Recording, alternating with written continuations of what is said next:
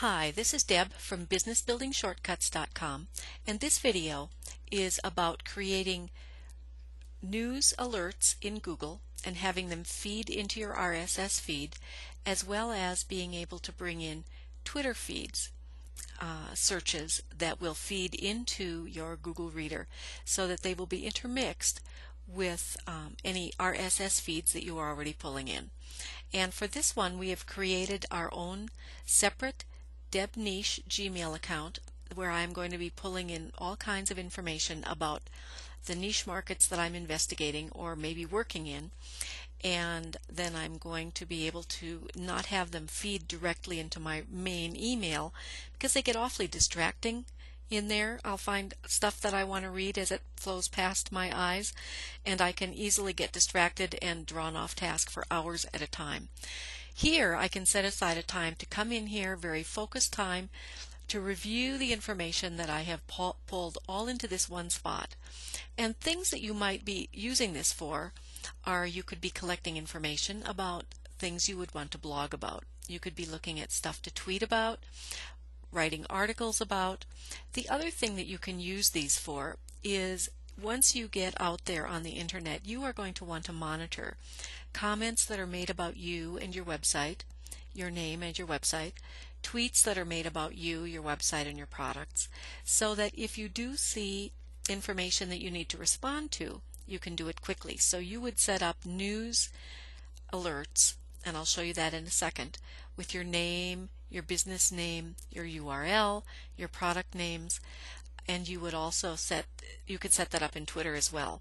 The other thing you might want to do is set up news alerts on keywords that you use so that anytime something comes across the internet, news systems, videos, audios, you'll be able to pull that information all into this one spot and it will put you miles ahead of your competition because you're going to be able to see what's happening in your market at the time that it happens.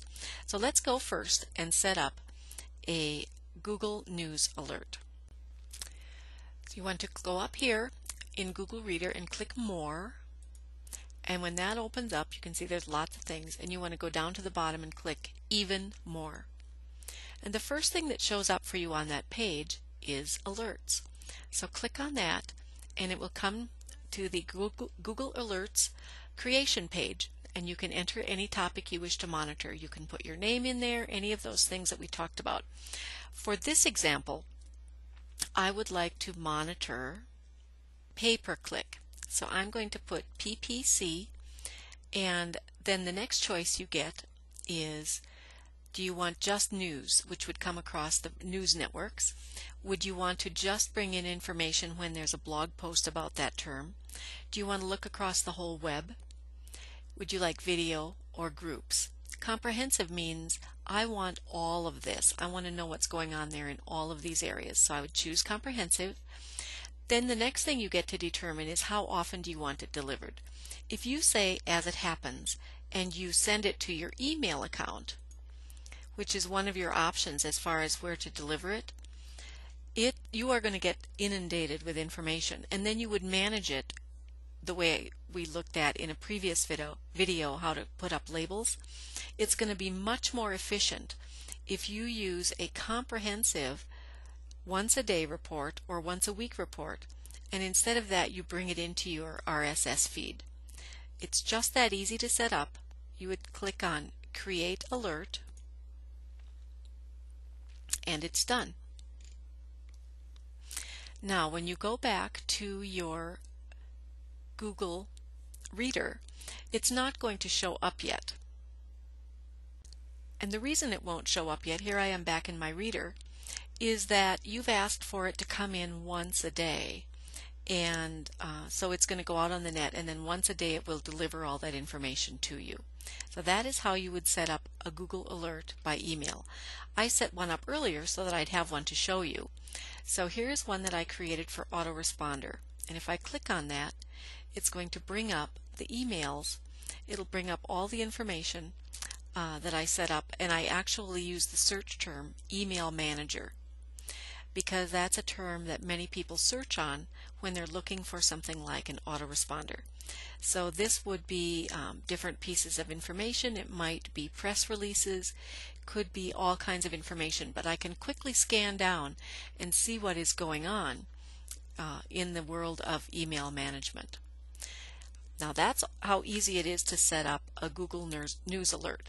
The next thing I want to do is create one of these, a Twitter search, and bring that also into my RSS feed. So I'm going to stop the video for a second and I'm going to go log into my Twitter account and show you how this works. Okay, here I am at my Twitter account and what I want to do when I log in is click on this little home button and it will take you to your home where you can type in what you're doing and to set up a search in Twitter that will make will feed into your RSS feed scroll down to the very bottom and click here on the text link that says search.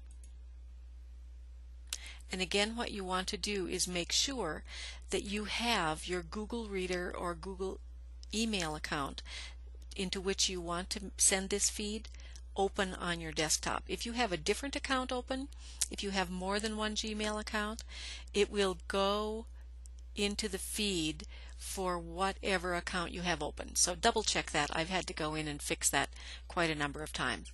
So here we are at Twitter Search. Click on Advanced Search and it's going to let you search in a variety of ways. You can search for feeds with all of these words and you can just list a number of words, a phrase, any of these words, and then you can also do a negative search. Um, a hashtag search.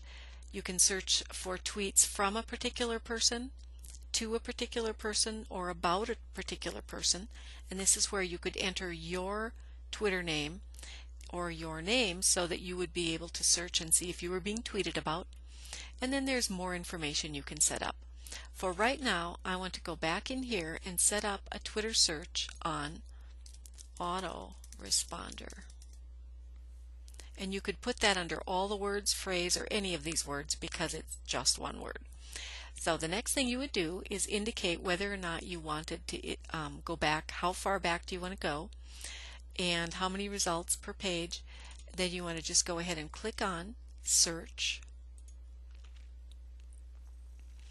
And it's going to bring up for you a whole bunch of tweets that have, as you can see, the bolded word autoresponder, tweets about autoresponders.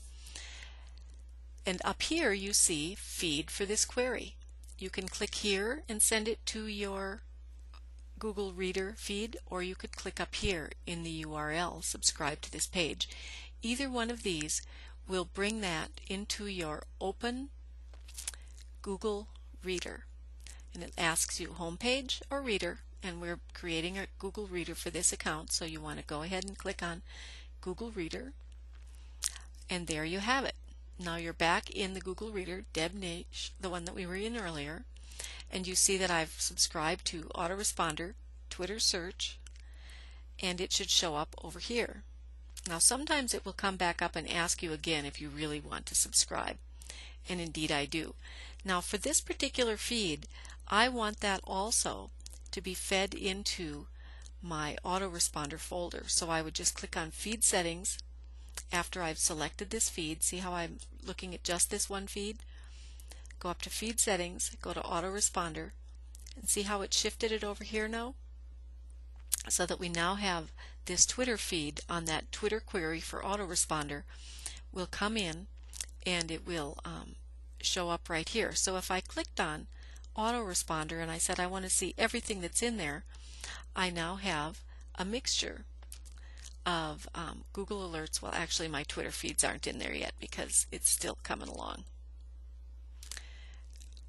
But that's where you would go to check them. It's just that easy to set up a Twitter search and have it sent to your Google Reader. So that's some of the really easy ways to manage incoming information about niches and markets that you may be already working in or interested in getting involved in. And so um, I hope that you find that helpful, and we'll talk to you soon. Bye bye.